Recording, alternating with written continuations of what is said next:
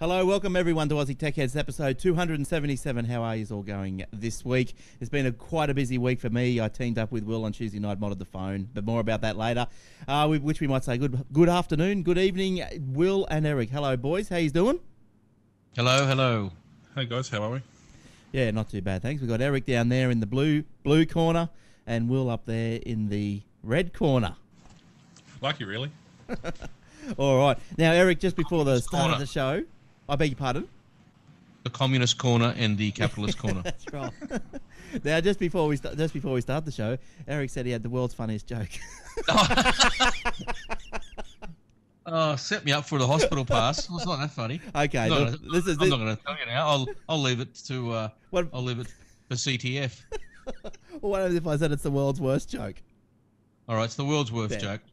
Went to the doctor and said, "I'm worried about a few moles." He said, "Where are they?" I said, "The Gold Coast." Oh, don't cast aspersions on the where I live, please. And what was the uh, the hashtag for that? Australia's what was Brisbane jokes. Brisbane Hashtag jokes, yeah. Brisbane. oh, Brisbane jokes, turn it up. Turn it up. No, no, Gold Coast is a great place when all you guys go away. Yeah, exactly. It's great when there's no one there. That's Yeah, right. It's a fantastic place, except for the people. Well, you know, you can't all be Like, like Byron, Byron's like that.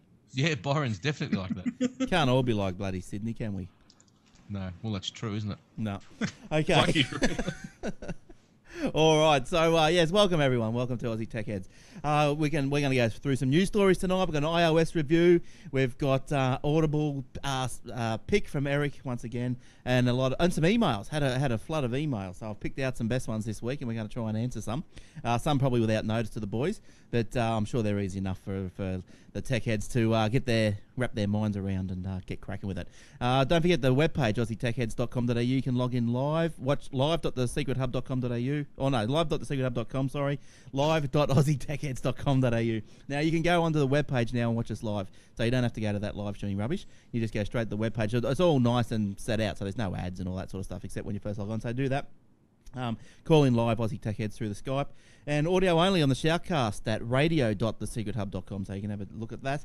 And uh, yeah, more more ways to contact us. paper.aussietechheads.com.au and don't forget the uh, we're here every week, every Thursday night at around 7:30 p.m. Queensland time. If you want to know what time it is in your area, just go to the front page of the homepage of the Aussie Tech Head page, and I've got some little uh, some little times in what in the in what times it's what time we're on in your zone, and also UTC time just for those uh, who can't handle the Australian times. All right, well we better get uh, cracking and. Uh, yeah, let's get cracking. All right, what do we got going tonight? What anyone got any uh, news that's happened this week? Because I, I have, but uh, but anyone else? I've got some news. Would you like me to start on a an NBN story? Yes, please. Well, in a quiet little, they didn't even release this. Uh, issue the, the updated rollout schedule, NBN, dated 15 February 2012. Okay, Right. I have looked at New South Wales. The next, this is what they're, they're, they they these are the areas they're starting in January 2012 in New South Wales. Okay, Armidale, which they re, they they're expanding that, so that's there. Right. Yep. Nas- national seat bribe. Okay, we know that. they should have had another column. They should have called what what seats What- what it's sitting seats? in. I'll tell you what it is. Blacktown. Liberal. They've started in Blacktown. Oh. Labor seat. Oh, oh, but there's nothing next to Blacktown. What do you mean? There's nothing next? In, in Yeah, that's no, that's they're starting that this year. Oh, okay, right. Sorry. Fi- fiber serving. It's not. yeah, They're starting it in the next month, you know, and it's going to take in 12 months. It'll be finished. All right. Coffs Harbour. Yep. Labor. Corrimal, which is Wollongong. Labor. Dapto. Wollongong. Labor. Gosford. Labor. Homebush. Labor. Kiama. Labor. Lidcombe. Labor. Long Jetty, which is the Central Coast. Labor. Penrith. Labor. Richmond. Labor. Riverstone Labor. Sawtell, which is down south. Labor. Wollongong. Labor. Oh, you love it. That's just a complete coincidence. I mean, there's nothing. Oh, bullshit, There's nothing Will. about that at all. Bullshit. Well, mate, maybe maybe their thing is that they've got to um they got to get them into the Labor seats because they know that they probably haven't got a hope in hell after it uh after they get kicked out. It's yeah, it's a vote. It's a vote buyer, obviously, but it's a But is it really? It's a money loser. This has got to be a commercial enterprise. It's got to be built to make money. Yeah, but it's just it's not. You tell me that out in Blacktown they're complaining about twenty nine ninety five a month. They're not going to sign up for fifty nine dollars a month. No, no, that's right. And if you, I think you can get it for a bit cheaper than that, but it's going to be as slow as all all buggery. And in Wollongong, this was one of the highest rates of unemployment in the whole country. Is Wollongong. Mm. So who's going on the internet there? Yeah, it's a bit crazy. It's it's cra- look, the whole thing is just a a, a pigsty. But so um, go to NBN Co on the website, people, and have a look. And and it's every month they're releasing updated rollout schedules with maps. And I guarantee you, go and have a look at uh, Queensland, Glen, and I guarantee you that there are very little um, non-Labor seats on that. well, hang on, I'm going to go there right now. Let's have a look. Uh, where do you go? Getting oh, look, they're on Twitter.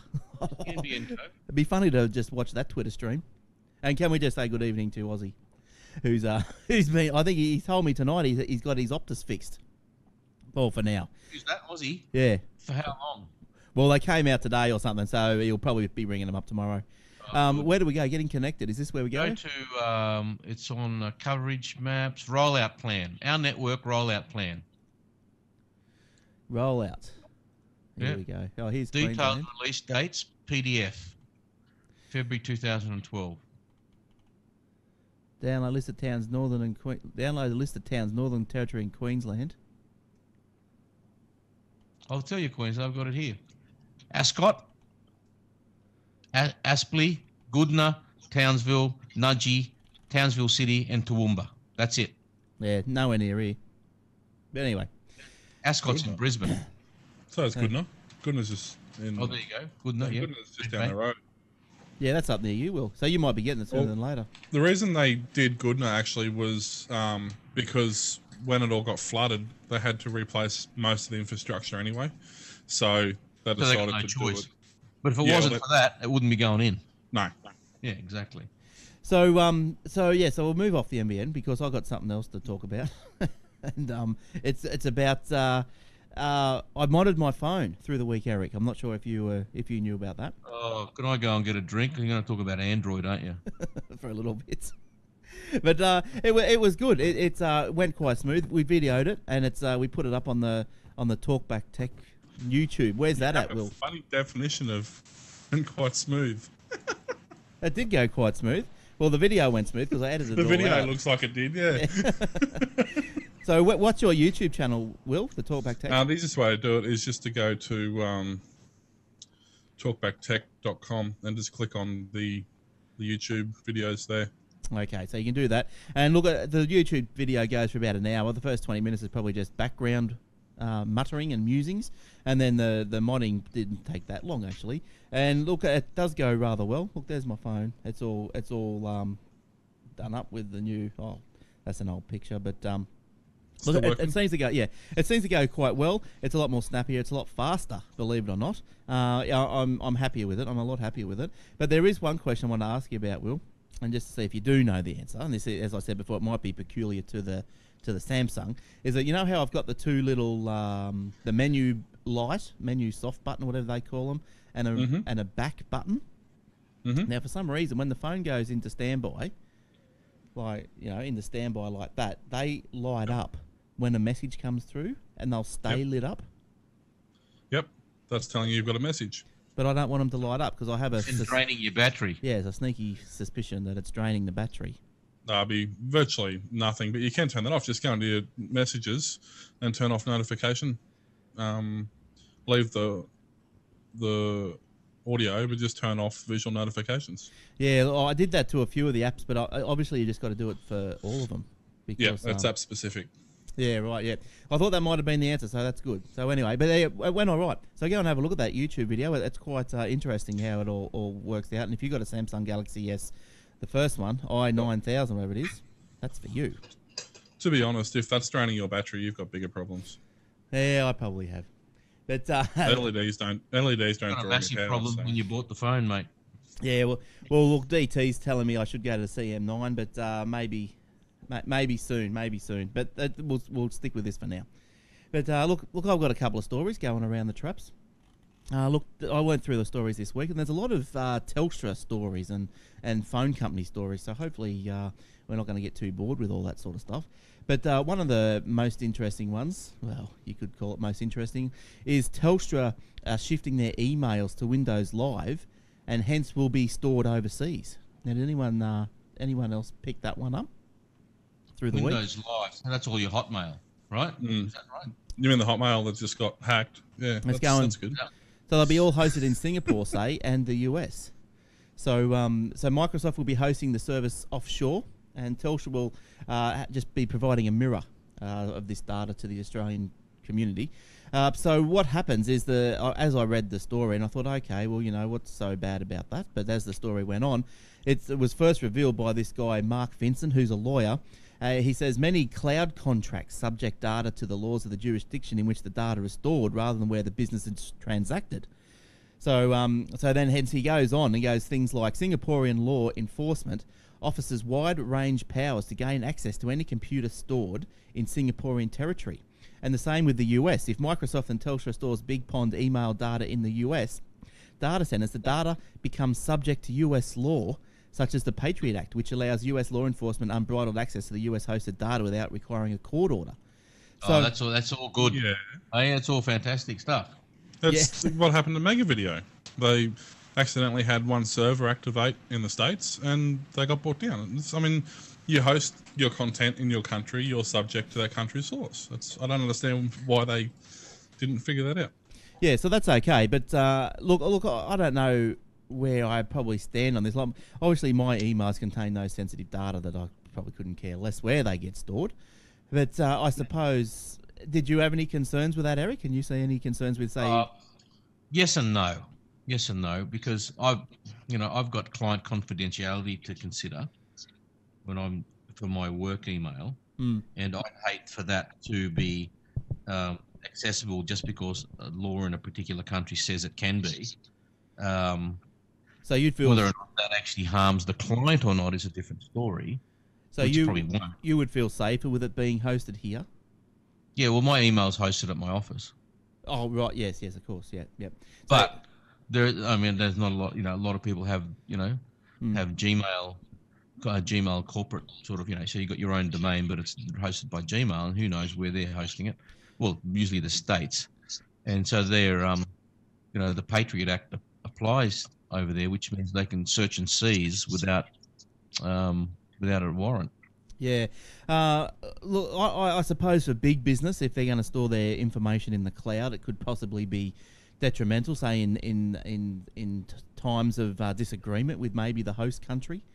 Uh, You know, and uh, then you know, like the FBI could just you know pop in and well, i Have a reckon if you can get a cloud service that's based in switzerland then you're right Mm. But look, I can't see why why can't we host why can't Telstra host this in Australia? It's Are ju- cheaper Yeah, but that's that's just a bit silly, isn't it? Like we should be, uh, we should be um, promoting these sort of things. We should be expanding our knowledge and expertise, and all this sort of stuff. But anyway, that's that's the go. That's the go. It's going to Singapore. Now, um, now also with Telstra, I found this other one came up. Uh, the the competition watchdog decided to regulate the prices that they charge that Telstra charges its rivals for to resell their ADSL broadband. Now, what's been happening is that Telstra is forced to drop its wholesale prices from thirty dollars to twenty five dollars forty in metropolitan areas, and thirty seven dollars to eighty to thirty seven dollars to thirty dollars eighty in rural and regional Australia. So what that means is obviously you know little the little dudes TPG and uh, the others IINet and all the rest of them who do the ADSL they all buy it from the Telstra because Telstra's got the infrastructure. So they buy it from Telstra and then on sell it. So Telstra has been uh, lowering their retail price uh, below. Well, apparently this is how the story's been going below uh, that of what the the But- on, the Yeah, what they're on selling it to their competitors that's right. So what they're on selling it to the IINets and TPG for. Yeah, definitely anti-competitive. Yeah, so um, so but what will happen is so they they've Telstra's been forced to charge uh, less. The majority of existing players uh, will have to wait till July when current wholesale contracts uh, with Telstra expire, uh, and they've got to wait till then before they can pass on any savings. I wonder how many of them will pass on the savings. Though I know, I think people like TPG generally will. Um, I, I have suspicions about Internode and IINet. passing that on because they're notoriously expensive. So Yeah. we'll wait and see. Yeah. So uh, also, meanwhile, uh, there was oh yet as I said, yet another another story about uh, Telstra. But the, the- I, I picked this one up because it's just uh, it seems a bit crazy. Uh, the this data roaming packs and all this sort of Is stuff. new, these new plans, Yeah. Yeah, the new plan. So to stop people from who use data roaming, uh, from to stop them from inadvertently coming back with a fifteen thousand dollar bill, which apparently this is what's been happening, which has been contributing to a rather large bad debt bottom line from Telstra. So um, th- th- these new plans from Telstra is I'll put the put the little graph up because you just go crazy over them. The new plans are expected to minimise the bill shock increasingly suffered by businesses and consumers. Blah blah blah. Now you've got this data pack starting off at twenty nine dollars, uh, includes nine point eight meg of data. Whoopie doo, and going up to eighteen hundred dollar data pack, uh, which will give you nine hundred and seventy six meg oh, call it call it a gig. a gig, eighteen hundred dollars for a gig. Now, what I can't understand is why does don't these? Why are people going overseas and why are they roaming? Like, It's a dollar eighty per megabyte. That's ridiculous. but why are they roaming? Because like you prepay, Eric, when you go overseas. I go overseas. I just bloody put a SIM card in the phone all What- the time. Why would you have to roam? Well, Well- business people generally roam because if they're always on the phone, um, there's that number is what everyone knows. Um, they can turn their data off. But you know, even You the can roam, just forward the number. what's that? Yeah, but then you're paying international rates. But I I don't know if want you forward it through Skype or something like that. But then you've got data, I guess. How many business people do you know know how to do that shit? We're talking about normal people here. But I can't understand why. Is it just because it's just, it's just uh, ignorance that they go, "Oh, I'll take my phone over, so he's got to connect roaming," and A lot of it, I think, a lot of it is ignorance. Um, let's assume that half of the people that get bill shock are, are business people, and the other half are, are everyday consumers. I would say that the business people don't have the time, and the companies are paying for it anyway, so they don't they cannot a rat's ass, especially from big corporations. And the other half, the consumers, are completely ignorant. They Yeah, A lot, realize. of, a lot of the time, though, it just doesn't get switched over. A friend of mine went overseas um, and they activated the data roaming. They activated it on the net and then they rung to confirm that it had been activated. And then when they got back from their holiday, they got a yeah twenty thousand dollar bill for data roaming. And I said, no, well, hang on. Not only had did I activate it online, I rung up to confirm it, and he had the uh, the confirmation email. Hmm. Um, and they went, oh yeah, that happens sometimes. Yeah, I suppose we better reverse that. Yeah, well done. Yeah, that's crazy. But uh, which leads me into an email that I got through the week from Curtis over in Arlington in Texas. I guess TX is that Texas? I guess that Yeah, must be Texas. So, Yeehaw. So, a very long time listener to the show. I finally have a valid question to write into the show. Yeah. My wife and I continue coming to visit Australia for my 50th birthday, blah, blah, blah. I bring my 3G iPhone, and my wife is bringing her 3GS iPhone to use, blah, blah, blah. Uh, they're going to Yep. jailbreak and unlock both phones before arriving. We are Yep. between light and medium data and voice users. We'll spend most of our time in Sydney and the surrounding suburbs, with one trip down to Pericoe, uh, near Towamba State Forest for some four-wheel drive adventures. Oh, will. And now to my question: What prepaid voice data SIM package would you recommend for us while we're visiting the area? Telstra. Yeah, that's what I reckon. Telstra will. Yeah, Yeah, Generally. I'll- Or and- or and, I'll, um, I'll get the plans up and, and paste them in.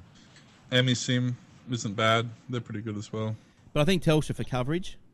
Telstra for coverage. Yep.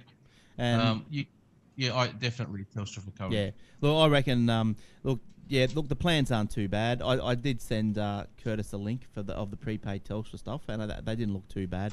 And uh, look, so so if he brings his iPhone over, 3GS and what did the wife had? Oh, 3G. Just have to be careful, 'cause For how don't know long? if- How, how long's he here for? Uh, three weeks. Three weeks. Okay. If he got a forty dollar recharge, that gives you five hundred bucks worth of calls and eight hundred megabytes of um, data, and that's that'll last him thirty days. Yeah. Yeah. So that's all right. I'm just wondering though if the American 3G phones would have the same frequencies as our 3G. Yeah, they do. Eight fifty. They do. Okay, Yeah. cool.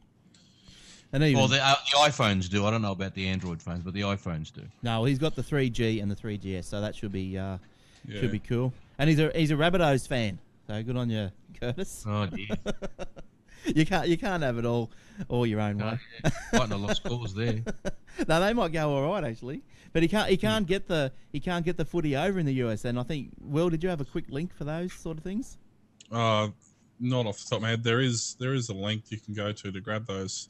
The, there's always people streaming for them. Yeah, just just Google them. I think you'll probably be able to find them sooner or There you, later. you, want, you want the Telstra link? There's a Telstra link there in the in the chat, in the Google chat. All right, let's have a look at this Telstra link here, and we'll see. Vodafone get their act together. You might give them a try, but probably don't bother. If you want, if you want No. uh, def, you know, definite, then you'll be. I think Telstra's the way to go. Yeah, I don't, don't I wouldn't confuse the matters. Just go Telstra, uh, Curtis, and uh, uh, that'll see you right. That'll see you right for sure. Yeah. So you can do things like uh, wherever.tv. They do online streaming for AFL and sporting events and things like that. So Yeah, you can Yep. you just have to Google them. You can find them. Good stuff. All right, now, yeah, sorry. I was going to say, um, so sticking with, have I got any more Telstra stories? Jeez, um, I did that one. I did that one. Oh, I got a Got Vodafone. another Vodafone story? Yeah, we might as well do the Vodafone story. Did you have that one, Eric? No, Okay, I've got that's that all one. yours, mate. Will used to be you. Will used to be with Vodafone. Uh, well, I was with three. Oh, actually, I was with Vodafone, but that was about ten years ago. Now, why did you leave them? Um, I have no probably price. I think they started getting too expensive. Well, They were expensive. They were very expensive at one point. Yeah. And then I actually I remember I left them to go to Virgin because it like cut my bill into quarters. So Yeah, so yeah, so Vodafone Australia is expected to report the loss of more than 500,000 customers from its network. Actually, now it's, it's probably a good time to jump back on because then there's no one towers will at be the there.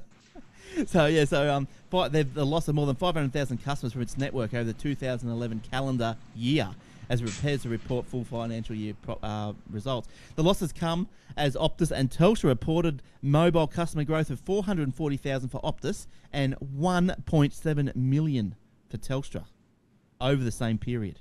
Yeah, and you know the funny thing, I, I joined Telstra over a year ago, and in that 12 month period, they've got a 1.7 million customers. I have not had a degradation in my performance as a result of now more people on the network. mm. I've Whereas had on Vodafone, probably a little bit of speed on data, but bugger oh, all. very little, very it's hardly noticeable.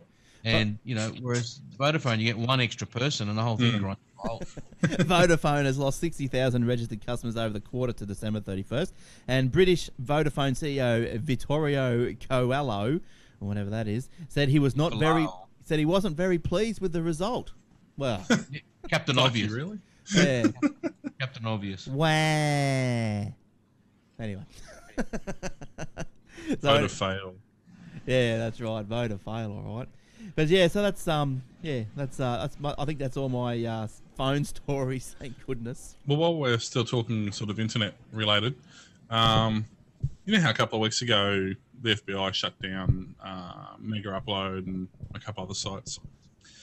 Well, on the Yeah. day they shut down Mega Upload on the 19th of January, on the 20th of January, the peer-to-peer traffic went. F- it increased 900 percent. So what what happened on the day they closed it down? So they shut down Mega Video, Mega Upload, you know, which was a streaming service primarily. Yeah, primarily. Yeah. And people went, oh, well, I can't stream this anymore. I'll download it. So streaming traffic dropped about um, 10%, and peer to peer traffic increased 900%. Wow. Mission accomplished. Yes, that's right. Now talk. a, a spokesman for, uh, uh, I can't think of this, I can't find off the top of my head what website that was, but the, the um, company that was monitoring the traffic, the spokesman basically said, um, who didn't see this coming? Yeah, well, you're not going to Well, stop they it. did. Yeah, sorry. Yeah, you're not going to stop it. You're not it. going They, to stop they it. didn't see it coming, obviously. Well, FBI didn't. The FBI, according to the FBI, they were surprised that that happened and didn't expect that sort of reaction. Yeah, right. crazy stuff. Crazy stuff. Um, Well yeah. So, Eric, did you have any stories going on over there? Ah, balls up. Who? Balzac. Wasn't he a musician? Balls? Three, A balls? $3 million Parliament House website is a year late. Oh, really? Oh, really? Inefficiency in a Labor government? I don't believe it. Let's read on, shall we? Let's- IT upgrade? The group are not get this. The group anonymous and complexity has been blamed. What? What the? Yeah. So, I, Mate, yeah. Australia's Parliament House computer network partly contributed to a six hundred thousand dollar cost blowout and a twelve month delay in constructing the newly designed Parliament web- website, which is due to launch to the public this Friday evening. Really, let's wait and see, shall we? So yeah, AP, aph.gov.au. Right. The figure and breach was revealed in Senate, Senate estimates yesterday by parliamentary librarian Roxanne Missingham and the president of the Senate, John Hogg, both Labor, by the way. Hog So, you and know, ham. Hogg, Boss Hogg, who reported that the total cost of the new aphgov.au site, which was meant to go live in February last year, had so far come to $3.1 million. I don't really. You love it, I thought the You uh, I thought the. Queensland government was bad. They spent eight hundred and fifty thousand dollars on their website last night. Uh, last year. last night. Last night, yeah, they probably did spend it Yeah, last night. probably. Um, didn't like the designer, so they fired the designer. He kept the eight hundred and fifty thousand. They hired someone else. See, yeah, I they had to don't. script start from scratch. What about the payroll system, Glenn, in the hospitals? Oh, Yeah, yeah, they've almost fixed that after six billion dollars or whatever it was. but it's still this- it's still this all wrong. shambles. It's still all This wrong. is why these people should be voted out. They, I, yeah, so it's, it's not looking good for them. But um, yeah, it's crazy. But it is like th- three point one million dollars for a website. Are you kidding me? So um, yeah, One website, and I guarantee it's got one page in it with Ranger's face at the front front of it. yeah, and it's, And they'll probably only work on IE six. and it's That's probably right. s- and it's probably only a static It hasn't, page. hasn't been. It's it's running on Netscape Netscape Nav- they, they built it on Netscape Navigator Gold. Yeah, because that's the that's the ants pants. Okay. Oh, it's just so Yeah. bad. It's rubbish. Now look, at we got another another iOS uh, video from Garth this week, and as always. Now Garth is on a what's he on about this week? He's on about uh, App Switcher. Now it's not so much a review, um, not so much an app, but it's a um, I don't know what it what, it, what it's a way of doing things on the iPad and on the and, oh something else I I learned through the week that I didn't know about on the iPad. You know if you um if you if you did, did like a sideways um uh swipe if you want to call it Gesture. Yeah. gesture yeah so like Zoom.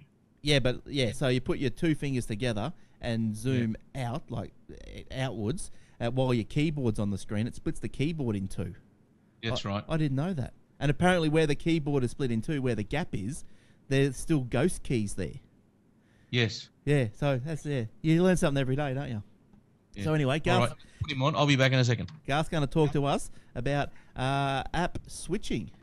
Hit it, Garthy boy.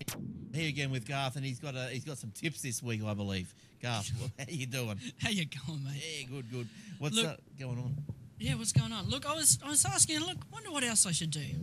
I thought, let's check in the app switcher and see what the most recently things are on your iPad, Glenn. Yes. And Glenn said to me, "What's What- the app switcher? what is the app switcher? What is the app switcher?" See, I knew when I bought the iPad, I got the email from Apple Mm-hmm. saying, uh, "Come down and learn about your iPad," and I didn't. I You brushed didn't? them. All right, you brushed them, I brushed them, and now I'm paying the price. and this is where you are. This is where you find yourself. it's exactly where I find myself. Alrighty, look, simple. App switcher is exactly what it sounds like. It lets you quickly switch between your apps. Okay. nice. So on your iPhone or your iPad, same same deal. Um, on the iPad, you've got a pretty cool four finger uh, swipe up. We'll bring it up, or on both devices, a double tap on your home button. We'll bring up your app switcher, and you'll see along the bottom there a list of your last play, last used apps. Nice. It's a little bit like a taskbar in the Windows world. Um, it doesn't, though. If an app is in there, it doesn't mean it is necessary. Doesn't necessarily mean it is running in the background as such. Right. Um, it can be if it's a certain type of app, like uh, one that uses, um, say, it's downloading something in the background. So apps are allowed to continue to download stuff in the background. Um, a navigation app, you might be using your phone to navigate somewhere and off doing something else. yep. The navigation will keep working in the background. So apps in the app switcher are just basically like a, a shortcut, saves the state of the app. So when you exit an app, saves the state of the app so that when you go back into it through the app switcher, you go back into the same place you were when you left the app. Oh, sweet as. Okay, so that's the way it's designed to work, depending on the app as to how well that's implemented. Yep. And the you know, um, as I said, some it's good. I guess you could say good iOS hygiene to every now and again go in there and clear out your app switcher. How do you clear? How do you clear it out? What does that mean? Okay, so if you want to bring up an app, bring up your app switcher. So Yeah. your four finger swipe up. Yep. Um, like so. Oh, the screen we're dimmed out. Anyway, same way you delete an app on your home screen, you, you know, you press and hold it. Or for, for those of us using VoiceOver, you double tap and hold. But press and hold, and you see the little wobbly thing. Yep. So you do that while it's in the app switcher, Oh yes, yes. and you can just delete away to your little heart's content. Oh, I see what's going on. That'll take everything out of your app switcher. Um, right. and if you then do a, a restart, like a pressing your home button and your lock button together until it powers off, Yep. it's like a cold re- cold reboot basically. right. That'll make sure if there's any little gremlins in the background eating up your battery and your processor cycles, kill them all Oh, off. Does this work on the iPhone as well? Works on your iPhone as well. How did you say it? Sorry, just quickly again, so I don't have to go back and listen to myself again. No one would want to do that. No, no. how, how did you how did you clear your, your, your app switcher? Okay, so just go through. So press and hold on an app so you get it to the right. wobble, Yep. um, and then just tap it away. Delete Okay. them off. Delete them off. Delete them off. That'll so be- once it's empty, Yep. um, that pretty much has cleared your app switcher. That's done. There's one next step you can take, um, and you can do this at any point that you're having a problem with your phone. So it's running slow for something, the battery's running down, you're not sure why. There could be some little process that some app developer hasn't nailed down just right, Yep. running in the background. Press and hold your home button with your lock screen, lock, lock button. Yep. Um, normally, you'll get to a point where it says slide to power off. Keep holding it at that point. Just keep going for your full 10 seconds, and it will reboot the phone. Nice. So, doing those two things together, every now and then, really good for your, your phone. Oh yeah. In terms of just in case there is something in the background, well, I've never um, done it, and my app switcher must have every app that I've ever looked at. pretty much. And, you know, that's testament to say that those apps aren't all running in the background. Otherwise, your phone would be, well, your iPad would be. just, Yeah. Stuff. So, yeah, they're just like shortcuts, like a save state for that app. yeah. Yeah. Yeah. Good stuff. Cool. I'm gonna. I'm gonna. But it's um yeah, that. handy little handy little thing if you haven't used it before. All right. Good stuff. Thanks for that tip, uh, Garth. And I think uh, next next time we're going to go back to an app. Let's Cool. do it. All right. See you again. Yeah, thanks, Garth. He's uh he loves his little app switcher there, and he's done a, a massive a massive write up for that, that little tip. And you can find the massive write up on the on the AussieTechHeads.com.au webpage. Just go under at the moment it's listed under the show and then iOS reviews by Garth, and you can uh, just watch that video. And don't again. forget too, you can do the same thing on Android by holding down your home button. Brings up the list of all your currently running apps. Oh, can you, Joe? Let's see. I've learned two things today. I did, I did, is that another four finger swipe? No, just yeah, pretty much. Just hold down your home button. It'll bring up. It'll pop up a list of apps. Um, oh yeah. and also yeah, you oh, can yeah, yeah. pinch and zoom in on your home page, and it will bring up your four or five desktops. Oh, oh, that's how it goes. Eh? How do you take a photo of the screen on the on the Android? Can't. Um, install the screen capture program. No, it's not as easy like the iPhone. Nice. Unless you've got, well, it depends. If you've got your, like, I think your phone does HDMI out, so you could do it that way. Just depends on your phone if it's got an output or not. Right. Okay.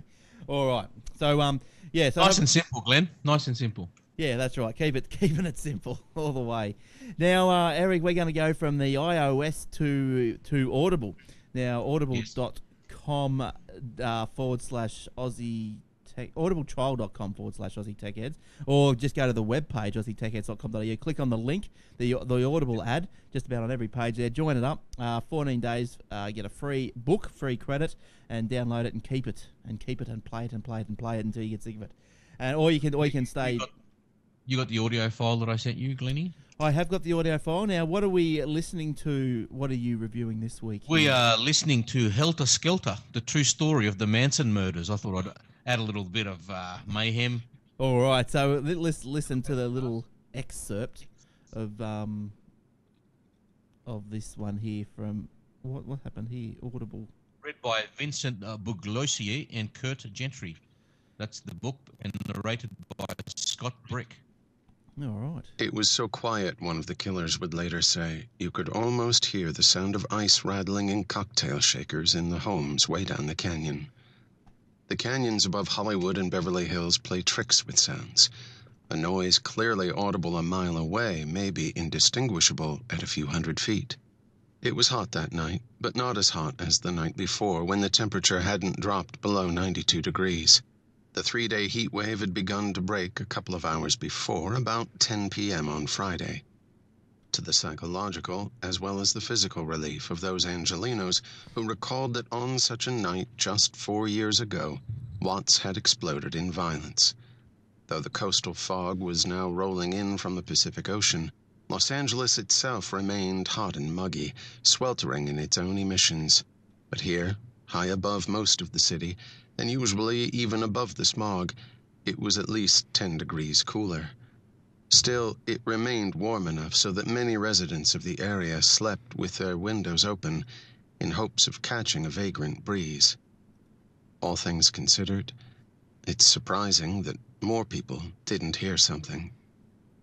Oh, that sounds very uh, menacing. And just, just Oh, yeah. 26 hours that book goes for. great. And uh, 26 hours. and just in case you couldn't read who it was by, uh, because the screen is a bit blurry, that is Curt Gentry. Just uh, if you couldn't read that while the get mixed up with other words. Okay, now um, yeah, so you can uh, download. Is that one? You could probably download that one for for cheap or for free, whatever. You, uh, That that'd be that that would be a free credit, I would imagine. yeah, so aussietechheads.com.au, you get link on the uh, on the Audible link there and uh, join up for free. And uh, yeah, do us all a favour and stay stay joined up, and you get uh, one book a month, Eric, for about how much is it a month?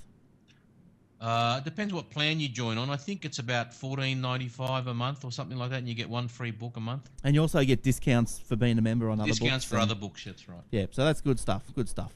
All right, moving on, moving on. Uh, Woolworths. Now we mentioned I mentioned a Woolworths app oh, ages ago on the show, and you can download the little Woolies app to your Android and iPhone, and you can do your shopping list and do all the all the all the good stuff. Now they've improved it. They've actually improved it, so they've completed an integration of the online shopping system to its mobile app, and it now allows you to purchase supermarket items directly from your phone to be home delivered. So that's pretty good, pretty good. Bet, Now, I bet you they haven't lowered their prices. I don't know. They're not too bad. They're probably lower than Coles overall, aren't they? Oh, I think they're about the same. Mm, probably. Uh, Their yeah, fruit and veg is rubbish though.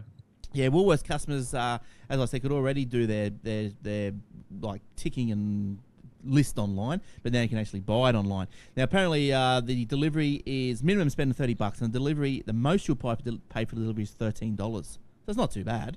That's a good option, I reckon. Like, I reckon if I didn't have my wife to go and do the shopping, I'd be doing that.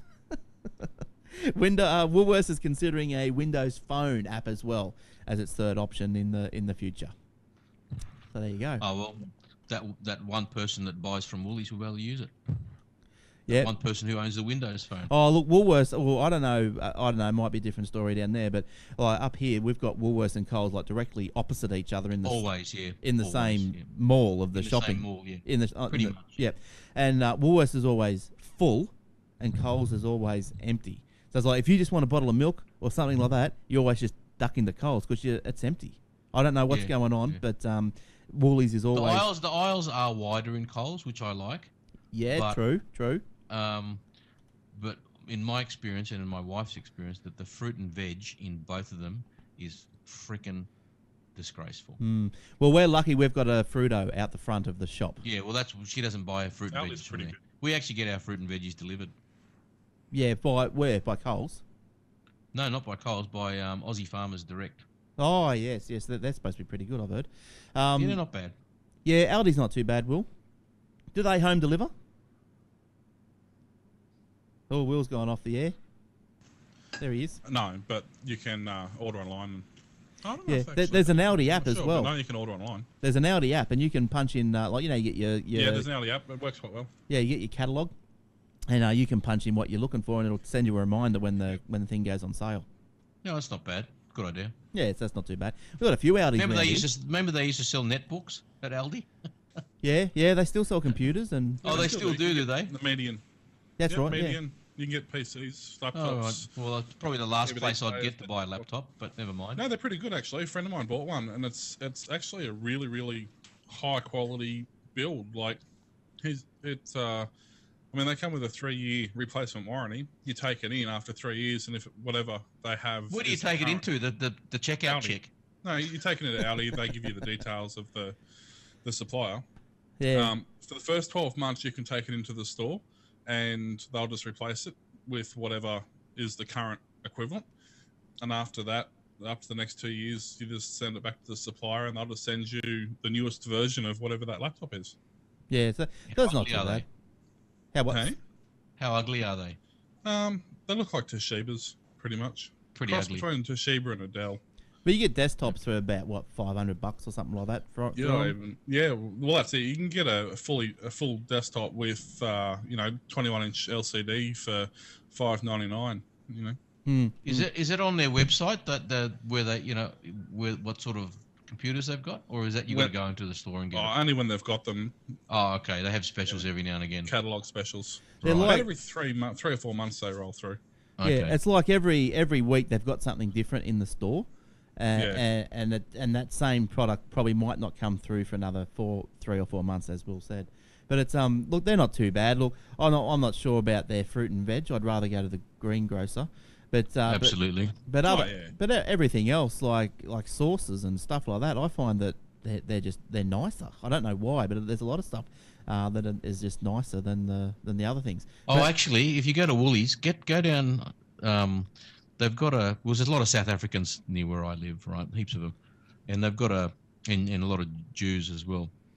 And uh, in the, in Woolies, up uh, at St Ives up here, they've got a kosher aisle. In Woolies, and next and then next to that is a South African aisle because a lot of South Africans are Jewish as well. But there's a, they've got this beautiful sauce from, from South Africa called Mrs. Balls steak sauce. I tell you, it is bloody beautiful. It's like a chutney. Oh, nice, nice, It's beautiful. spicy. Go and get it. And only Woolies, only Woolies stock it. Apparently, Yeah, okay. from, from what I know. Is it spi- is it spicy? No, it's not spicy. Hmm. Not spicy. It's like a cross between a chutney that's not spicy and barbecue sauce. You know, it's quite. Yeah. My mate makes nice. it, my mate is is his name's Balls. His nickname's Balls, and he uh, he makes a nice spicy sauce, and he puts his own labels Oh. on his bottles. Put Mr. Balls. He got no, he just calls it balls. You'll need them. it's, it's a, it's a nice hot sauce too. it's No, I don't like them too hot. Oh yeah, hotter the better. you know. Hotter the better. Oh, really? Oh friend yeah, mine love it. does a really nice chutney, and then he does he does a normal one, which is warm. That's that's certainly nice. And then he does the same chutney, but he uses uh, bird's eye chilies. Now, um, that's good. Will now moving on. And Sorry to It's really you. hot. Yeah, oh, hot stuff is great. I, I remember having just a hot pizza one night, and uh, I just ate it all, and it just burnt my mouth out for like Well done. for three hours. But anyway, anyway, moving on, moving on. Now, Will, what can you tell me about the dot .info domains? Anything exciting, or no comment, or what? Uh, Do you like them? What about them? What Oh you- yeah. Oh no! I did, you did you have any a- any comments at all? Because the Department of Parliamentary Services has blocked access by Australia's parliamentarians uh, to Yeah. some 5.2 million websites with a dot .info domain. So senators Hmm. are unable to opt out of the block on dot .info domain. So you're not allowed to block uh, opt out.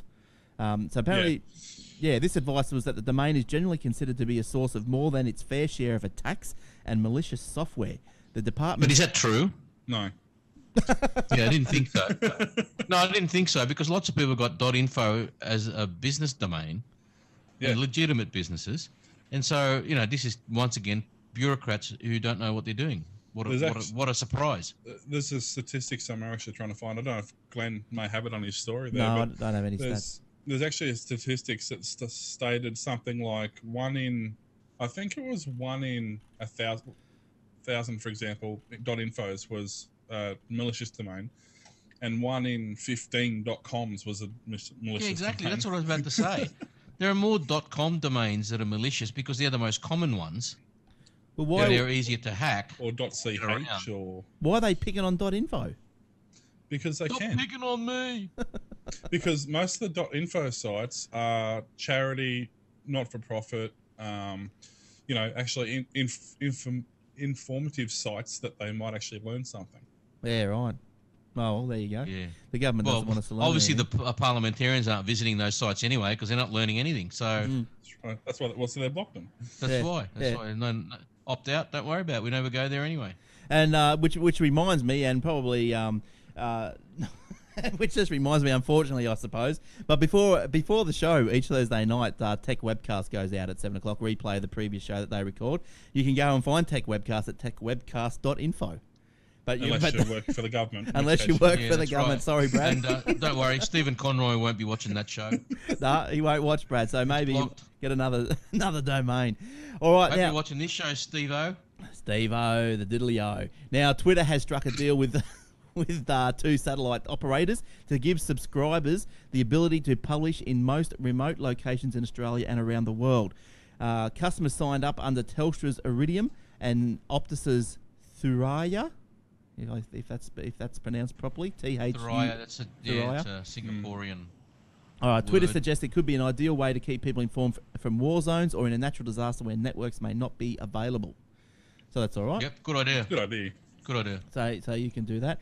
Now I've got another one here talking about uh, all that sort of stuff. Now I think Eric's got an iPad or an Apple story as well, but Apple faces calls for ban on iPad shipments in China. I don't know if any if you guys picked this one up through the week. Um, Have you got the updated one for that? oh, I don't No, know. haven't- Well, let, I'll, I'll tell you what I've got, and then you tell me what the update is. Uh, Chinese technology company ProView said Tuesday it is seeking to ban shipments of, Austra- of Apple's iPads in and out of the country, alleging it owns the trademark rights to iPad in China. Now, Apple good luck with that. well, Apple bought the rights to the iPad name from the Taiwanese company affiliated with ProView, called ProView Taipei in 2009. But ProView claims it still maintains ownership of the brand in mainland China. A Chinese court rejected Apple's claim in, uh, to the name in December and awarded ProView continued ownership in the country. Apple's obviously appealing. Apple claims it bought the worldwide rights to the iPad name in 10 countries seven, several years ago, and that ProView is simply neglecting to respect this agreement in mainland China. Update Will. Okay, go on. Will, updates. Um, I was going to say basically that's pretty much irrelevant now anyway because Oh, the Chinese government has said, come out and said that we are not going to ban the iPad sales in China regardless of who owns them. And uh, if you refuse to sell iPads in China, we'll just bring them in anyway. Right. So basically, they're coming into China regardless of whether Apple wants them to or not.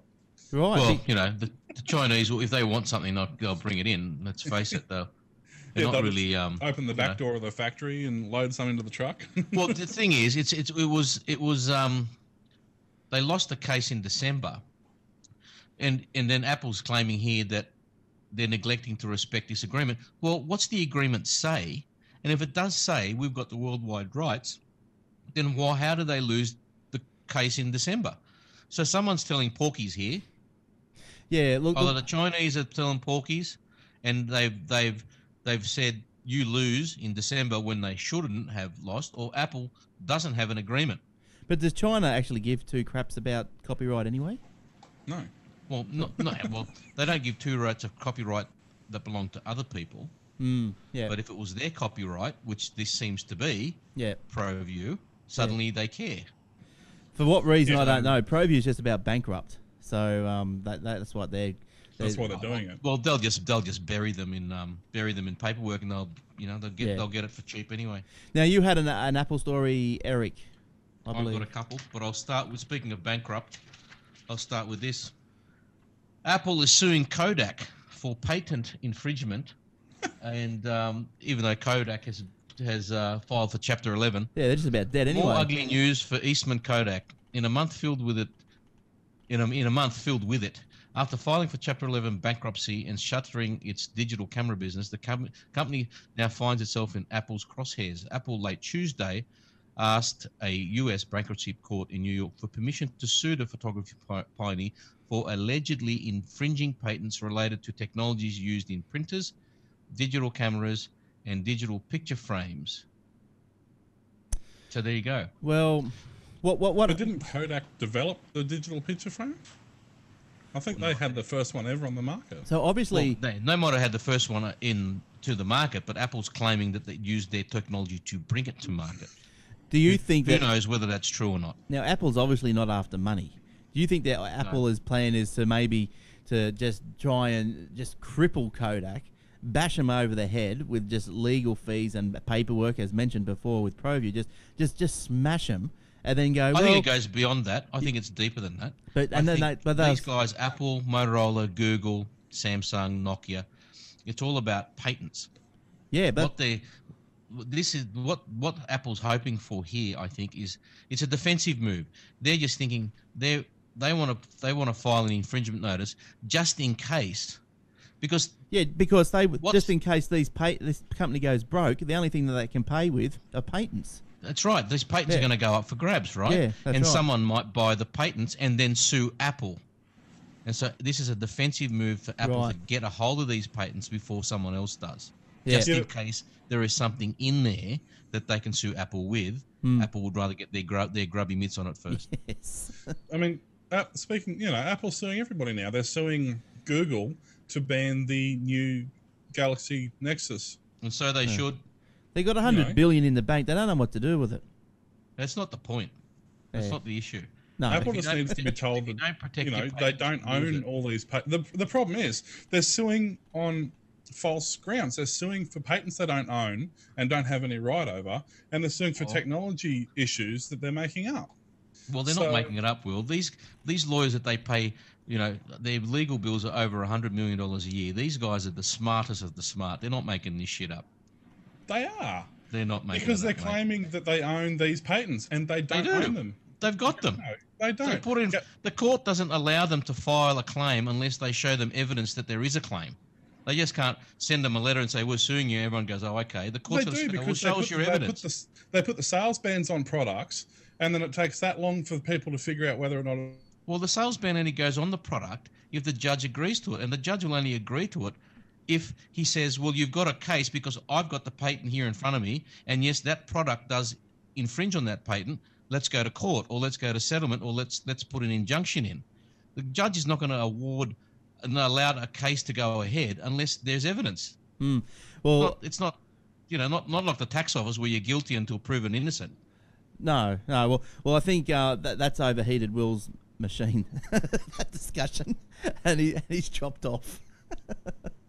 so I think his uh, his media center might have uh, might have blown up into his computer. But um, I'm sure he will will will be back in a minute. He will- he will reconnect in a second. All right. So um, now just moving on. While we're just talking about Apple, have you finished your Apple stories, Eric? The, for now, yes. Okay, for now. okay, so my uh, my my next one is Steve Jobs. He might be gone, but he's not forgotten. Now I don't know if um if you guys come across this one or not either. But uh, oh hi Will. There's a surprise. we talk about Apple, and my internet drops drops out. Yeah, I, Yeah, I- they knew. They knew. Apple's Apple's got the patent over uh, Optus technology. yeah, I think so.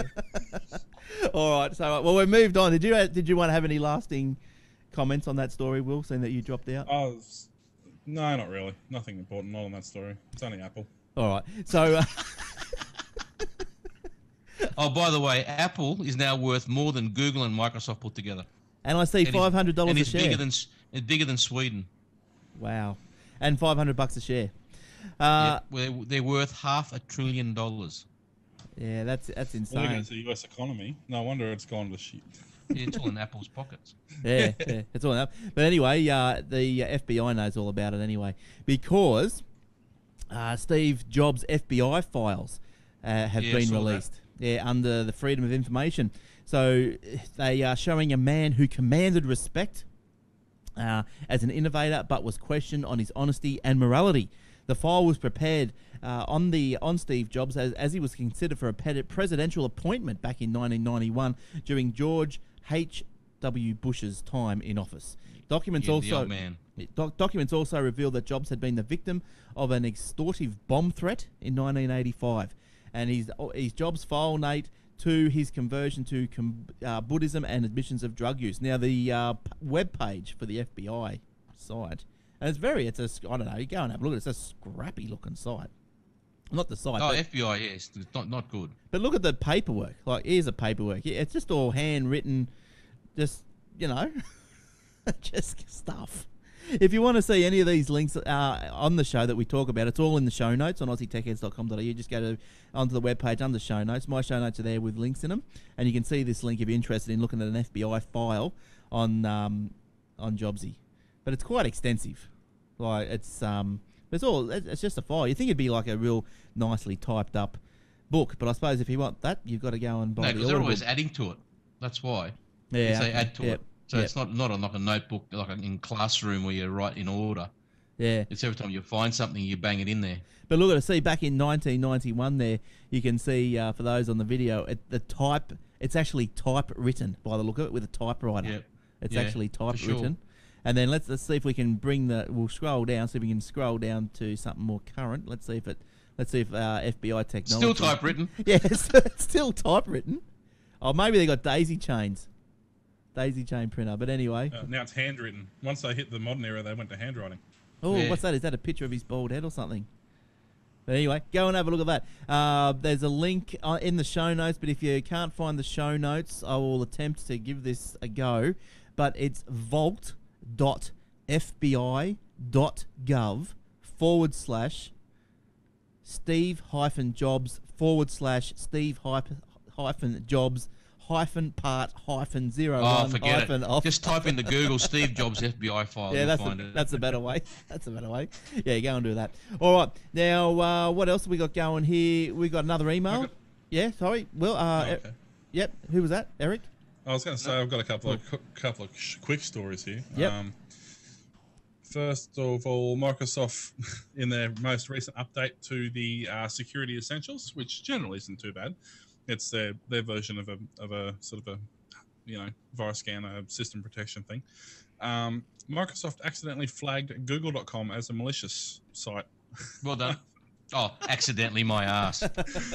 um, which falsely identified the search engine as being infected by the black hole exploit kit.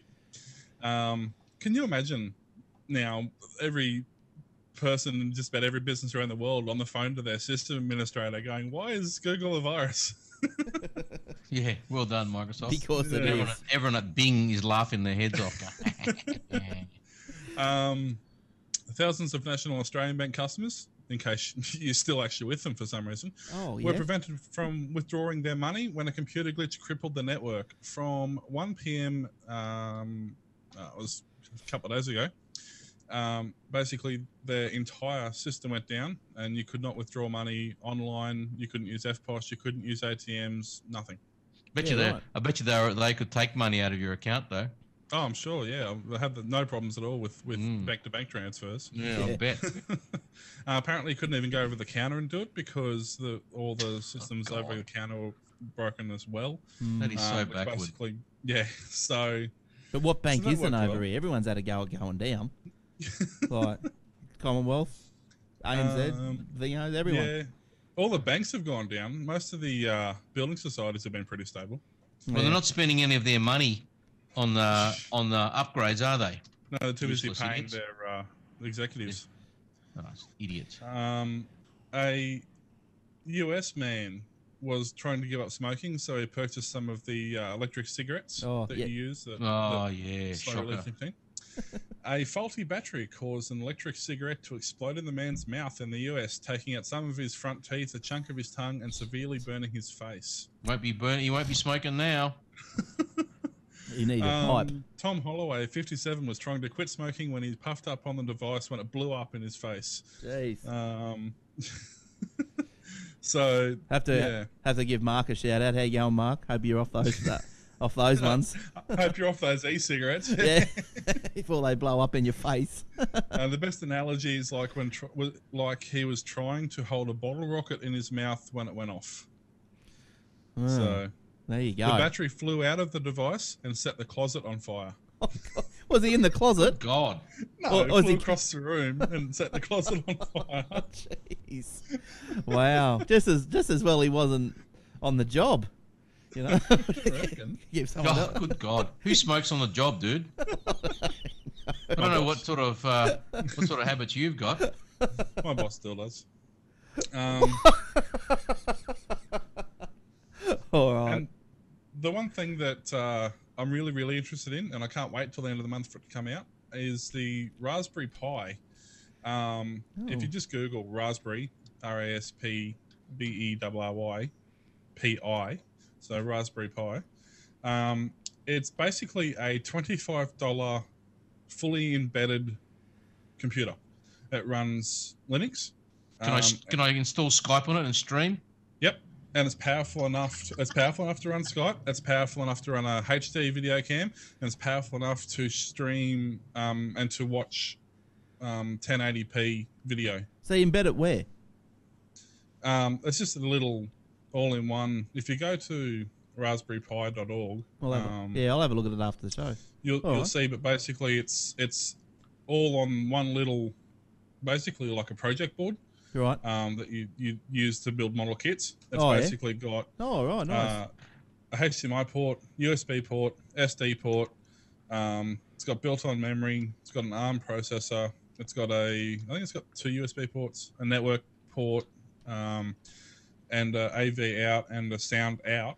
And then it's got options. You can add um, Wi-Fi capability via the USB, and you can add a few other bits and pieces. So I really can't wait for that to come out. It's going to be absolutely brilliant. yeah, I think this um, is the web page. Can I hook up a screen onto it? Yep, it's got HDMI output. Okay. Is there any pictures So here? it's got HDMI and it's got AV. eSATA. So Hang on, where's some pictures? eSATA. um yes, actually no, it does yes, it does have an eSATA port on the board. Okay. Yeah, it's got two actually. That might be it Um, there. Is that it there? I That's can't it. see a picture of it. That's it right there. And what what's the what's the size of the pro, what's the speed of the processor? Uh it's an ARM processor. Um, Right. But Ah, equivalent to Uh, what? i5, i3. Tell you in a sec.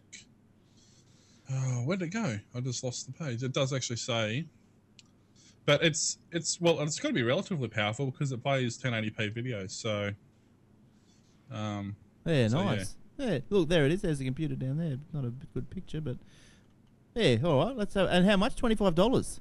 twenty-five dollars for the the basic model and thirty-five dollars for the the Model B, which uh, has a little bit more onboard memory, The a Ras- bit more video memory.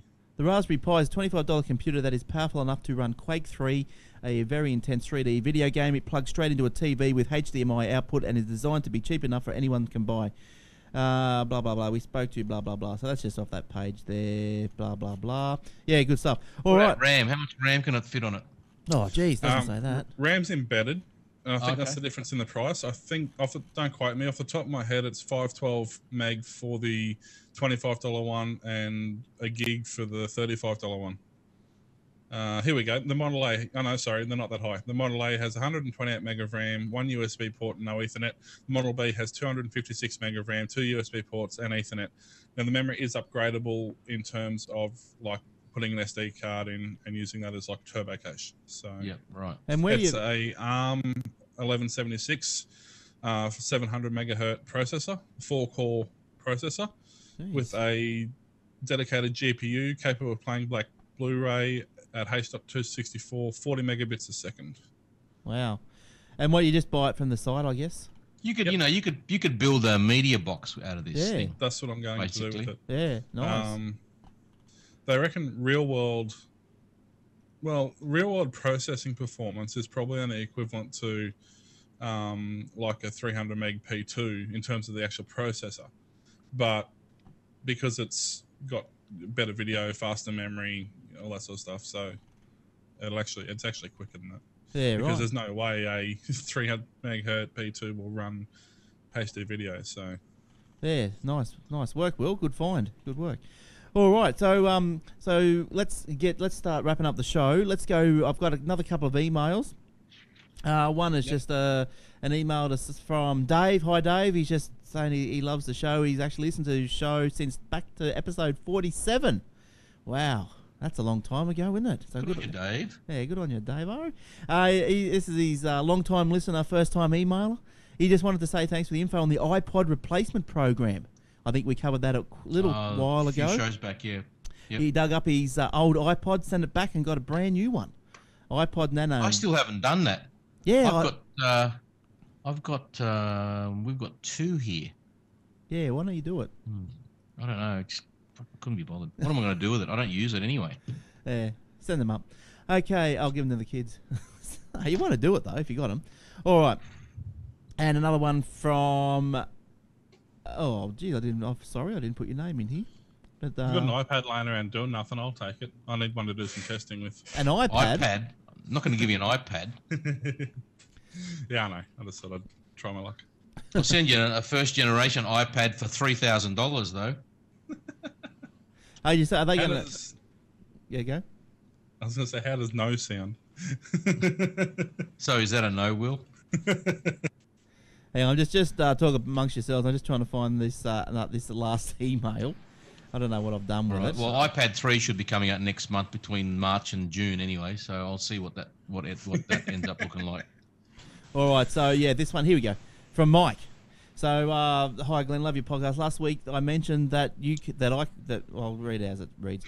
That- Start again. Uh, uh, yeah. So yeah, love your show. Last week you mentioned that you can stream video from your home media center to be viewed on your iPad, just like the Slingbox technology available overseas.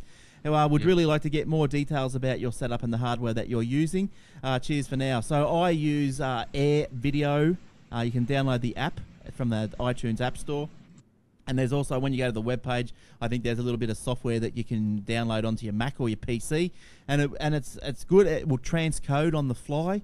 So like obviously if you're 3G, uh, you don't you're not gonna you don't want to be sending a, a, a full DVD across the across the 3G little airwaves. They get all choked up. So what it does on the fly as you're playing it, it will transcode it down to a lower uh, bit rate and send that. So save you on your all your bandwidth and so forth. So that's one I use. Air Video. There's others around, but uh, look if you don't like that one, send me another email. I'll tell you what else that that I that I have used. I think I've only got another one. I think Subsonic Yeah, is i- another one for if audio. you've got if you're just going to do it at home within a room room to room, you can iTunes will do that. But if you want to be out of your house, um, then what Glenn's suggesting is probably the best option, yeah. or, a, So or a sling box. Yeah. So have a have a look at that one. And look, the only thing I could probably maybe. Uh, say is yeah. Look, it was quite easy from memory. It just all went. It just all worked. It was it was pretty easy. It was pretty easy. Uh, you might have a bit of trouble. The only thing I think you might have trouble with is is uh, streaming what you've maybe just recorded. If you're recording TV onto your media center, but uh, anything but the TV that you record will just go sweet as. But there, you might just have to have another little plug-in or whatever for the what is it? The So you just need a good internet connection, right? Yeah. Basically. Oh, it doesn't matter. It's just streams over 3G. Yeah, whatever. Whatever you whatever you got going. A little ADSL probably do. All right. So um, have a look at that one. So thanks to those guys that emailed in tonight or this week and, and whatever. That was really good. And we want some more emails, please. Or more emails, video questions, audio questions, whatever. Uh, there's a the web page is starting to open up more and more every week. I, I've uh, put up there now how to how to be part of the show. You know, Skype, Aussie Tech Heads, and you can chuck your video up on YouTube, ask us questions, send us a link, and all this sort of stuff. So do all that sort of stuff. But that's the end of the show. Thanks, Eric. Thanks, Will. You're welcome, sir. And No uh, worries. Thank you. and don't forget if you want to, if you've got a Samsung Galaxy S or any other Android phone and you want to mod it uh, to get rid of the proprietary software that, that might have come with it, uh, just uh, what do we use? Cyanogen mod. So just go to uh, the I don't know Will's site TBT talkbacktech.com. Is that it? That's it. Yeah, talkbacktech.com. You'll see the video. I'm going to put an abridged version up on the Aussie Tech Heads YouTube as well. I'm going to. Will that took two hours to record. Well, I edited it down to an hour, but I'm going to edit it down even more, and uh, just put the actual the actual uh, workings of it all up for you. So just nice and straight in. All That'll right. go down to about probably what 35 minutes, 40 minutes, something like that. Yeah, 35 minutes. About Some, something like that. Yeah, yeah, that's right. All right, so until next week, we can contact Eric, Will, or Glenn at Eric, Will, or Glenn at aussietechheads.com.au. Don't forget the webpage. Don't forget Audible if you're into Audible books and all that sort of stuff. If you're not, we'll get started, get cracking, get into them. And we want to thank you, the listeners, for every week downloading and listening to us and watching us live in the lounge. Thanks, guys, in the lounge. Quite a turnout tonight. Thank you. And uh, we'll see you all next week. So until then, it's good night from us. Bye bye. See you guys. that. Night, guys.